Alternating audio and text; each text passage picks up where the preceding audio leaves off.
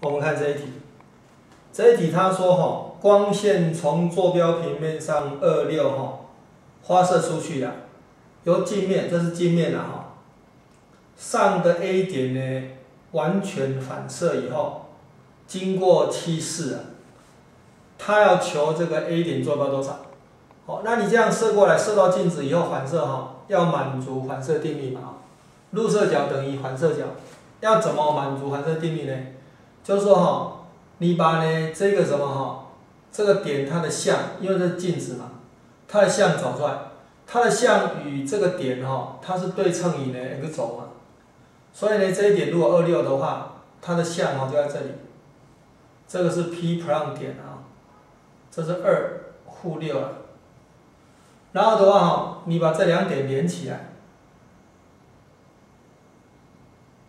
连起来以后的话呢，求到这个焦点，这个焦点就是我们要的，因为这个焦点它会满足什么呢？满足入射角等于反射角。为什么？这光这样射过来，打到 A 点以后的话反射嘛，它会满足反射定理。为什么？因为呢，这两个三角形全等啊，这个三角形呢跟这个三角形全等嘛。好，为什么？因为这一边跟这边一样嘛。这共边嘛，这直角，这是直角，所以这两个三角形全等，对应角一样，所以这个角哈跟这个角一样嘛。那因为这两个角是对顶角嘛，所以这个角跟这角一样，跟这角一样，所以这两个角一样。那这两个角一样的话，那我现在的话哈，做那个呢，嗯，垂线嘛，做垂线，这是九十度啊。哦，九十度减掉这个角度呢，是等于这个角度嘛。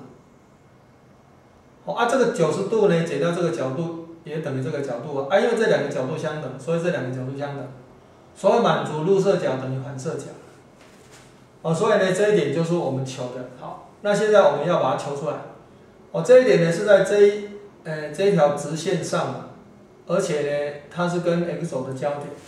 我们把这条直线把它找出来，我们用两点四找出来，两点四哈就是 y 加上呢六。等于这斜率，斜率多少？斜率是四减掉负六是十嘛？啊，除以七减二是五，啊乘以多少？x 减二。